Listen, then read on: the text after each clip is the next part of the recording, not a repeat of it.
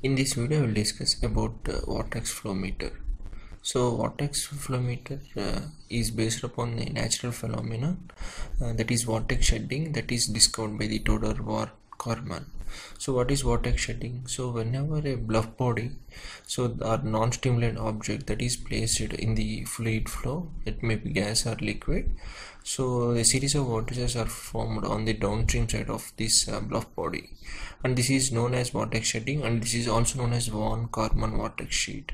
And uh, this is a natural phenomena you can see everywhere. So the common example is the pole uh, flag.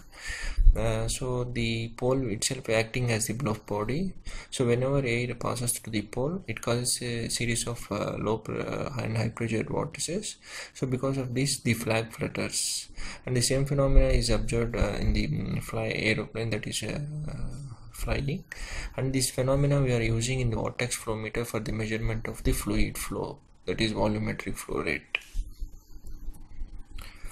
So so here see the uh, width of this bluff body is d so l is the uh, uh, distance between the or interval between the what vortices that is on the one side of uh, the bluff body so Strouhal number is a, a dimensional number that is used for the analysis of the oscillating unsteady fluid flow problems.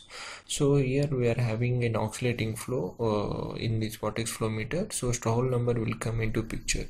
So Strouhal de determined that as long as Reynolds number. So Reynolds number is also dimensional number that gives the relationship between the diameter of the pipe, velocity of the flow, and also the viscosity. So then by using Reynolds number, we can tell whether the flow is a laminar flow or turbulent flow. And what this Strouhal determined that um, for this Reynolds number that of the fluid flow stream that is between 20,000 and around um, 20 lakhs so mainly this is a turbulent flow. The Strouhal number uh, is 0.17 so and the Strouhal number is the ratio of the shutter width which you have seen above is the width of your uh, bluff body and the vortex interval. So that is the um, interval between the vortices that is forming on the downstream side of your uh, uh, bluff body so this von Karman is also noticed that the distance between the shed vertices which we have seen distance between the shed vertices that is flowing on the that is formed on the downstream side of your bluff body is constant and it is independent of your flow velocity. And it is only a function of the diameter of your bluff body d. And when the flow uh, rate increases that is velocity increases so the number of vortices per unit uh, time increases means frequency increases without having any change in the distance between between the shedding vortices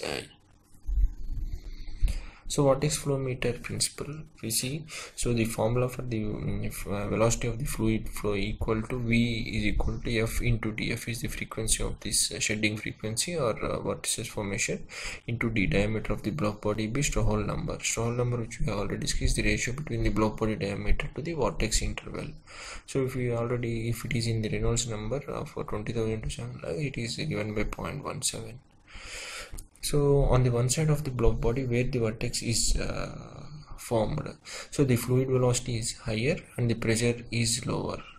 So um, causes so because of this so these vortices are caused by the swelling of the fluid flow into low pressure area behind the bluff body.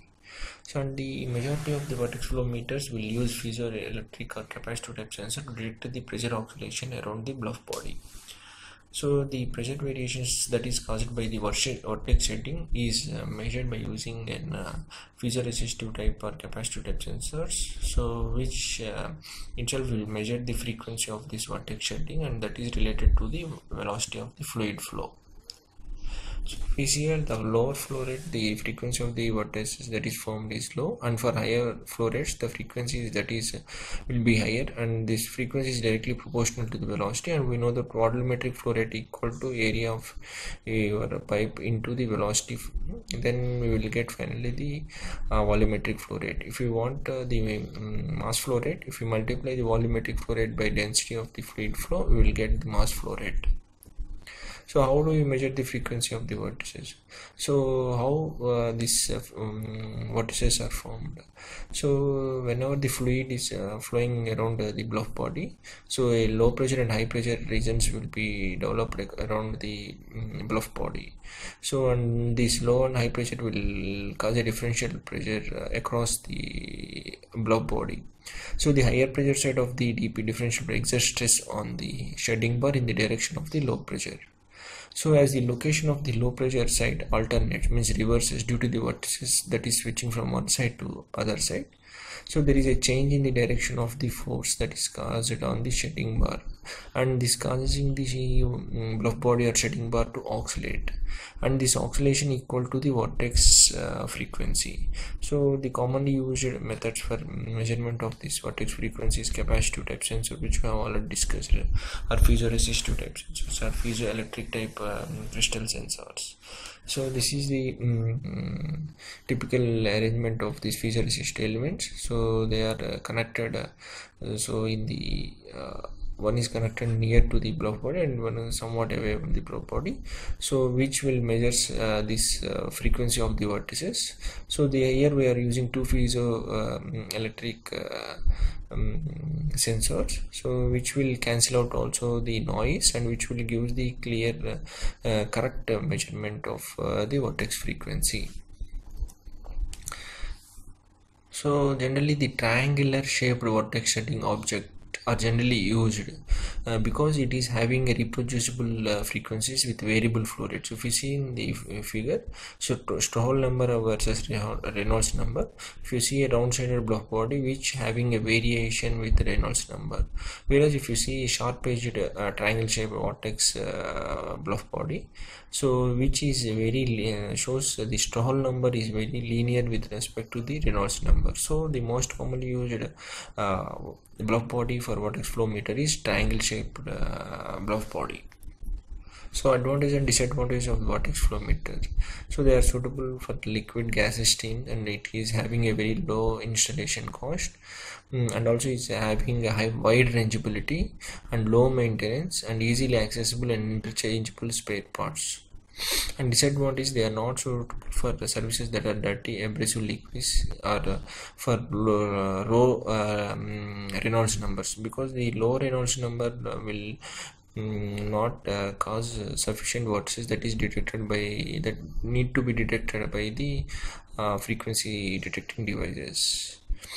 And uh, substantial straightens are required both upstream and downstream. Suppose if there is any um, pumping device or any obstruction in the flow path. So this or vortices uh, um, vortex flow meter will require uh, sufficient straight length in both the upstream and downstream. This is uh, one of the disadvantage.